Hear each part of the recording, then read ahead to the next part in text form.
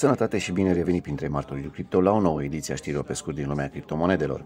Sam Bankman a comandat o ușă secretă ce a permis companiei Alameda să împrumute 65 de miliarde de dolari din banii clienților.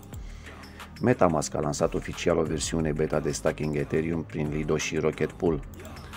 Bitcoin depășește atât Meta cât și Mastercard în capitalizarea pieței.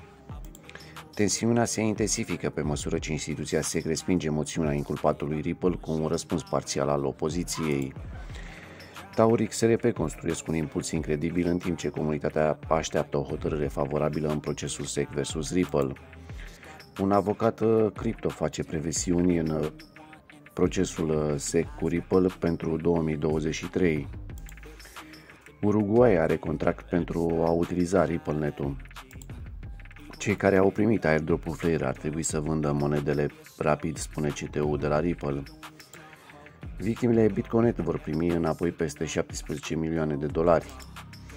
Schimbul de criptomonede Whitebit va sponsoriza echipa națională de fotbal a Ucrainei.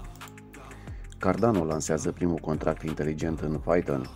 Cam uh, atâtea în această ediție, toate sursele le găsești în descrierea clipului postat pe YouTube. Nu uita, te rog, că nu sunt consultat financiar, iar ce spun trebuie luat ca atare. Dacă ți-a plăcut conținutul, te invit să dai un like și subscribe. În rest, toate cele bune și spor la colecta cât mai multe criptomonede.